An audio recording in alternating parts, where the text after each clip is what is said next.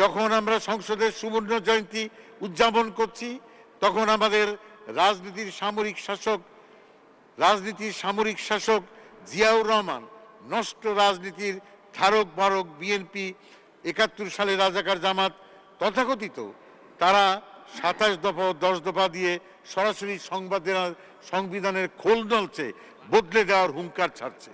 এখনও বিএনপি অপরাধগুলোর পক্ষে নিরলজ্জ সাফাই গাচ্ছে বিএনপি আসলে মুখে বাংলাদেশ অন্তরে পাকিস্তান পাকিস্তান বলে জব করছে।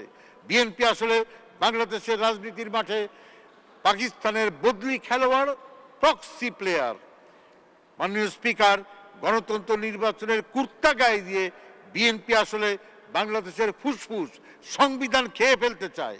রাজাকারদের আবার রাজনীতির মাঠে ফিরিয়ে আনতে চায়, হালাল করতে চায়, আবার সাংবিধানিক ধারা বানচাল করতে চায় বাংলাদেশে আবার অস্বাভাবিক সরকার প্রতিষ্ঠা করতে চায় এখানে কোনো মাঝামাঝি রাস্তা নাই, কোনো আপোষ ফর্মুলা নাই।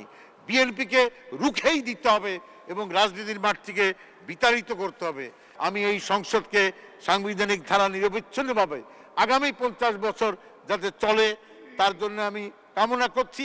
একই সঙ্গে সঙ্গে আশা করছি আমাদের নাতিরা যাতে এই সংসদের শতবর্ষ উদযাপন হাসি মুখে করতে পারে।